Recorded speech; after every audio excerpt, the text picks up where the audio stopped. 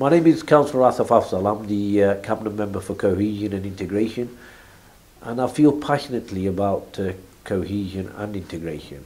We have people from different parts of the world who've actually chosen to make Derby their home and what we need to make the whole community aware of is the positive contribution that these different cultures and the wealth of knowledge have had in making Derby the great city it is today.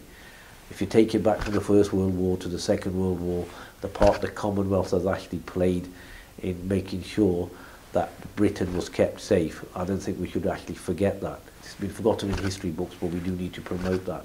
Uh, we need to develop a strong and effective leadership amongst the different communities with a common purpose of keeping Derby safe and a strong city that we can all actually uh, feel uh, proud of the young people need to recognize the positive impact that uh, migration has had on our city and they need to be supported through this. And we obviously need to concentrate on reducing crime and uh, there's a lot of uh, stuff going on in inner city areas of Derby that I firmly believe that if we start respecting different communities start working together with the different faith groups there's a lot of issues that like uh, we've got organized crime gangs, organized crime groups. We can address all of those issues by working together. Uh, so we need to support vulnerable and isolated people. People need to feel that they are welcome in Derby. And it starts from the young people to the old people.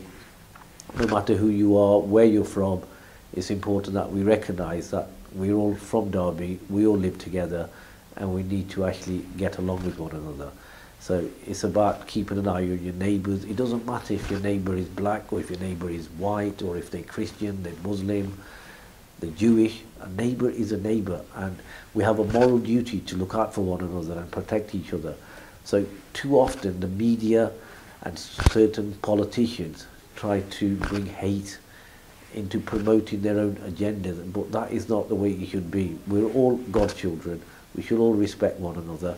And this is exactly what we're trying to do in Derby. But by even having a portfolio holder who's responsible for cohesion and integration, it's actually promoting the fact that we are different, but we all share the same common goals. We all want to have those British values, those family values, where we can actually be proud to say that we are in Derby and we can live together, we can work together, and it's important we promote that cohesion and integration through having events where we can actually have a food event, we can different sorts of dances, different costumes.